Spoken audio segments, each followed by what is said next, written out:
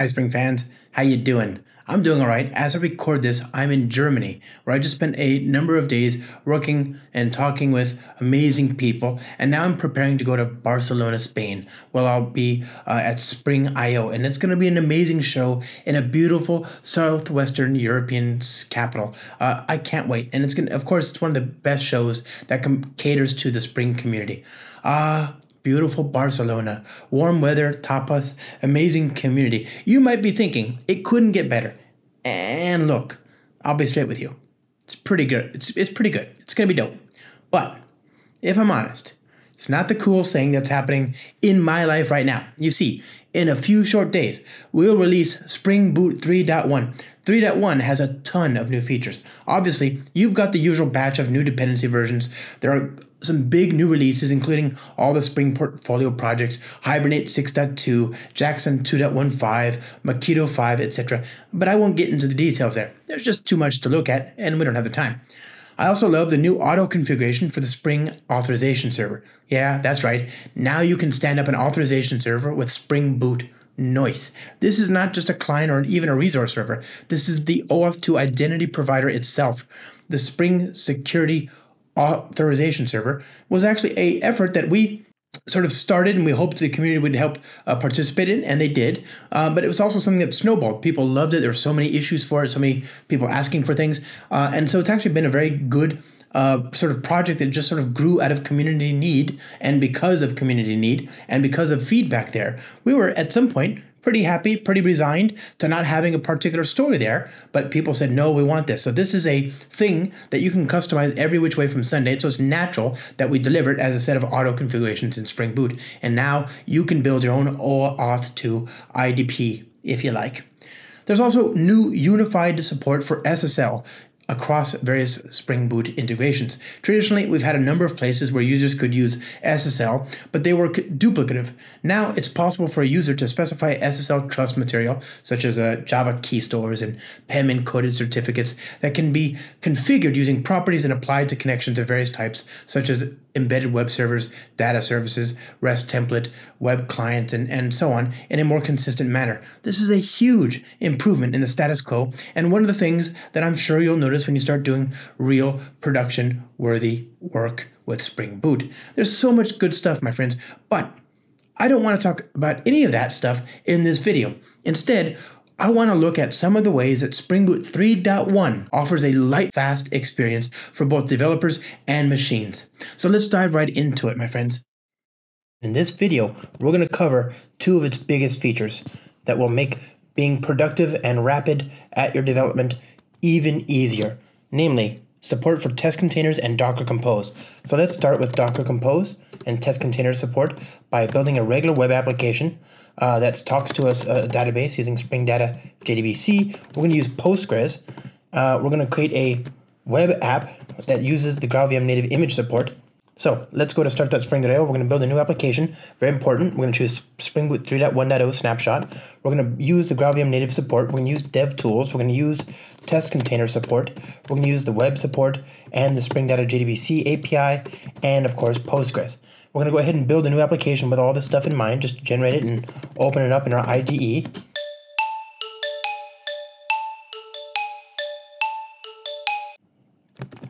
All right, our application's open. It's just going to be a regular stock standard Spring Boot application. Let's just do the normal thing.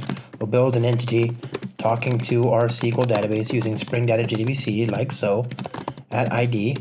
And we'll create an interface. So interface customer repository extends CRUD repository, managing entities of type customer whose primary key is of type integer. Uh, I'm going to create a HTTP endpoint, so customer HTTP controller. We'll just inject this customer repository in the constructor, as always. And we're just going to create an endpoint here, forward slash customers, that returns an iterable of customers. Like so. So this dot repository find all. Good. And this is just an HTTP controller, so we'll just use that. Very good. So there's our basic Spring application. Now what I want to do is I want to connect this to a SQL data store. In this case, we've got on our class path the Postgres support, right? So we could we could definitely um, uh, do that, but I want to start with Docker Compose support. So let's copy paste that and add the Docker Compose support. Now this is one day going to hopefully soon be on the on the start.spring.io Spring Initializr, but for now we have to manually add it ourselves. Okay. Now, what I would normally do is I'd go in here and I'd maybe I'd have a separate property file called application dev properties or something like that, and I'd put in Spring data source data source, password, URL, etc. And then I'd start up a Docker image. And speaking of, let's copy and paste a Docker Compose file from here into the demo. And you can see that Docker Compose file looks like this. Pretty simple, right? Username, password, host, you know, it's local host, obviously. So this is a pretty stock standard Docker Compose file. And I would line up these usernames and passwords with what I specified here. And I'd make sure that when I'm using doing development, I'd run it on that dev profile. Fine. But wouldn't it be nice if instead Spring Boot could find this Docker Compose file and start it up for me when the application starts up? Look at that. It not only found the application, it not only found the Docker Compose file, but it did indeed start the container for us. Starting, starting, waiting, it's healthy, and then we're ready to continue booting. Okay, great.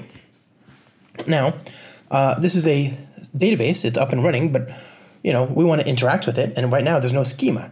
So I want to create a uh, schema file and a data file, but of course this is a, a remote database from the perspective of Spring Boot. So I'll tell it to initialize this schema for us, always okay, as opposed to the default, which is only when it's an embedded like H2 or something like that. Okay, fantastic. So we're going to do that. Now we go here, we go here and we create a data.sql and we create a schema.sql. So the schema, of course, is just for our customer data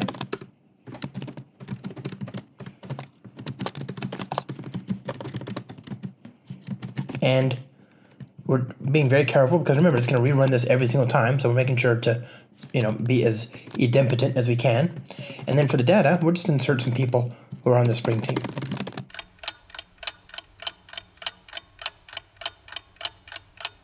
All right there we go. There's our data.sql uh, and our schema.sql um, now we're going to run this and you know we could restart but again we've got dev tools on the class path. So what we're going to do is we're just going to recompile okay? Recompile the project, Command Shift F9 in IntelliJ.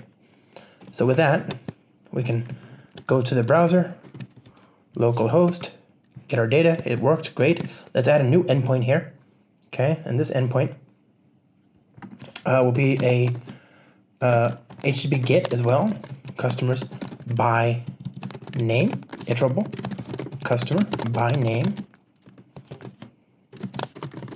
Okay,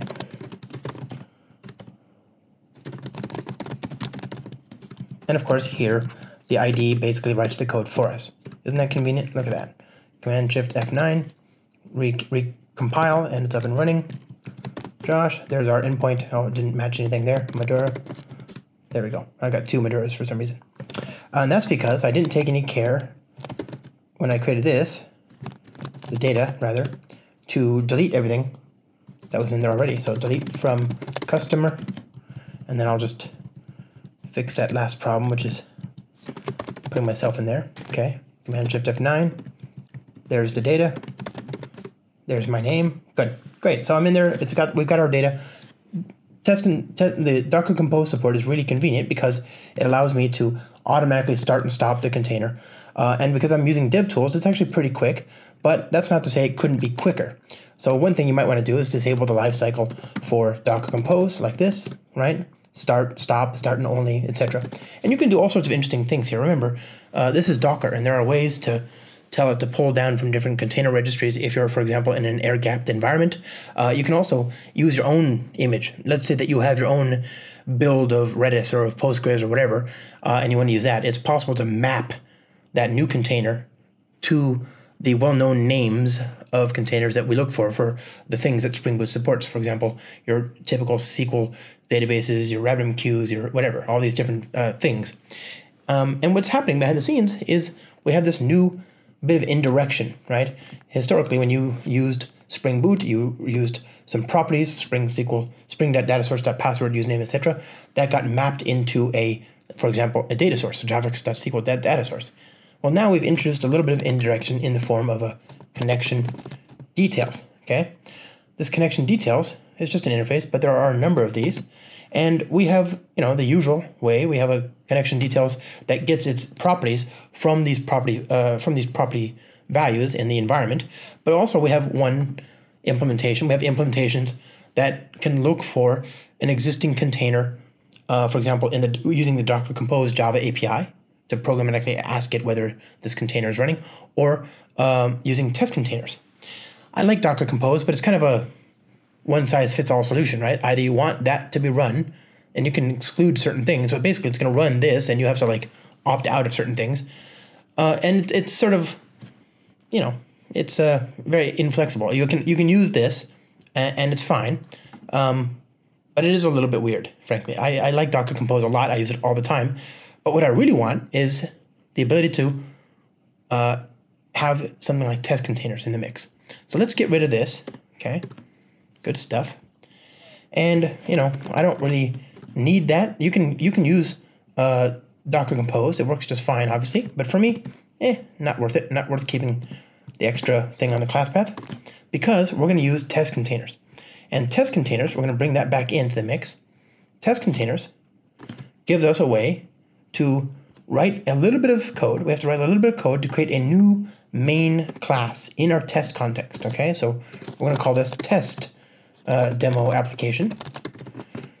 and this is going to be a configuration class it's going to have a public static void main, but we're not going to recreate the logic of public static void, public static void main. Instead, we're going to delegate to our demo application main. I'm going to say we want to run with this with these arguments in this public static void main, but we also want to give it a new configuration class from which to draw some configuration. And that'll be this test demo application. So we're saying do everything that you would have done in this one, but also augment the configuration classes with this particular class and then run, okay? And the reason we want to do this is because we can now define a bean for Postgres, for example, okay? Using the test containers API. So return new Postgres container. And by the way, look at that sweet, sweet control space ability, right? Control space, I hit, you know, control, you know, control space, I get the versions, all sorts of cool things there. Now, I told you that Spring will now, it knows how to source credentials and, and connection details from the running container itself we need to tell it that this is the bean that will provide that information to it. So we can do that by using at service connection. Okay, so this is a, a very convenient annotation. It tells Spring uh, that this is the thing that we care about. I'm going to go ahead and stop the existing one because we're going to start now from here. Okay, now the th thing is, I also want this container to endure longer than every single restart. I don't want to have to like restart the container each time. Um, so what I'll do is I'll use an annotation called restart scope, but you might have noticed it's not here. And that's because by default, the compilation, the, the, the dev tools is development only. And I'm going to turn it into test implementation. Okay, so Command Shift I and restart scope. There you go.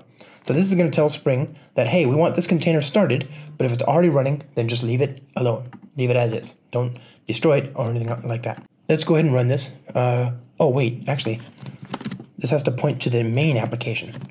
Okay, now let's go ahead and run this.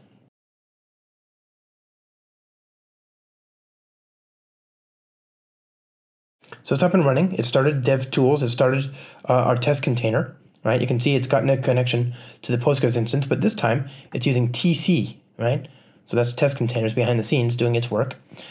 Okay, but still, the same rules apply. All the stuff that we did before with Docker Compose still applies to this, but now we have the ability to, you know, uh, configure things. We can use some of the methods here to configure the container, for example. And best of all, this is all in our test code. It won't be packaged up in the production code. Okay, so let's go back to our controller demo application. And um, let's say that we wanted to have, oh, I don't know, let's just print out system out getting a record by name, right? Name, okay? So there's this. Command Shift F9.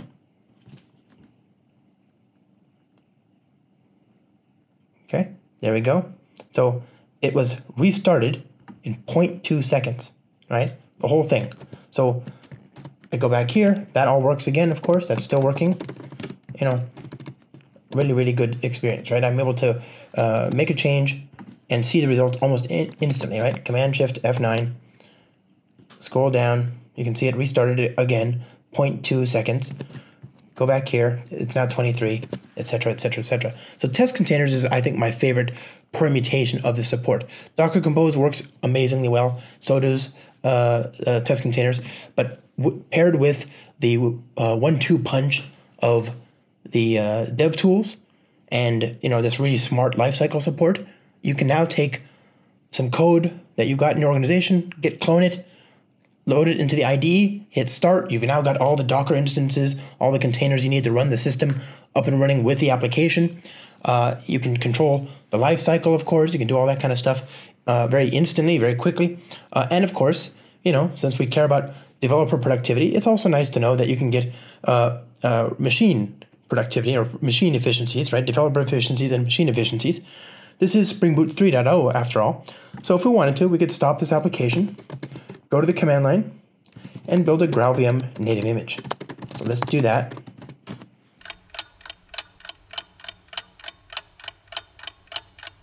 There we go. There's our application. It compiled.